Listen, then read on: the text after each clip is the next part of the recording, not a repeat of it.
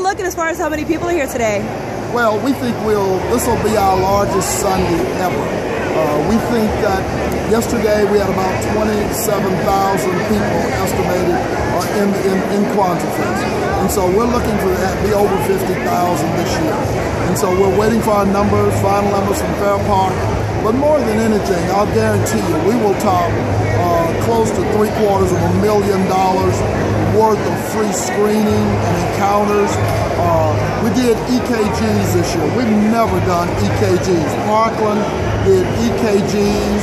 Um, it, it, was just a cholesterol screening, prostate off the chain. And so we just feel good about this year's Kwanzaa Fest. We had the right feel, even with the weather. I mean, the people just continued to come.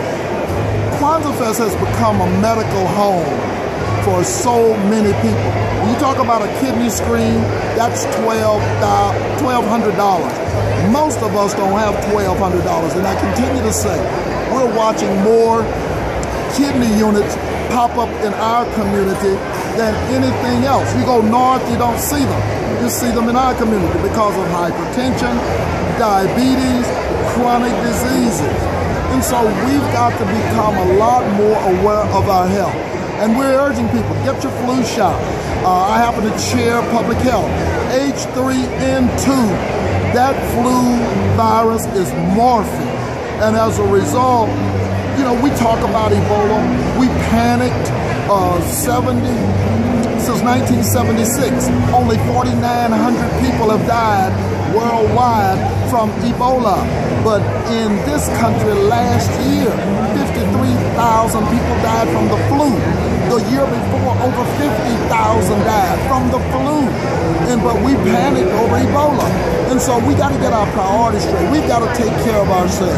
Things are not going to change just because we wish it. We're going to have to become part of self-determination. Take that's what Kwanzaa Fest provides. And you know, we've talked for years. So the people that try to tear you down, you're still standing. You're still helping the community. What do you say to the haters? Uh, I've got I've got bounce back I'm okay. Let me just tell you, uh, you know, I'm here for a purpose. I recognize the purpose. I'm going I'm going to be okay. And still help the community. They love you. The community is mine.